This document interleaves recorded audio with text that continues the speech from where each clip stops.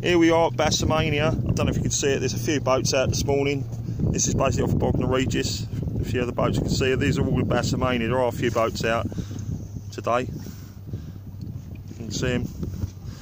And a fair turnout. We're expecting a few more people. I don't know if anyone else booked in at Littlehampton. Um, but say there are boats out here all, everyone's coming close today uh, at the moment because wind against tide out deeper there's there's no real tide at the moment so uh, we're going to wait till till the way the wind's running.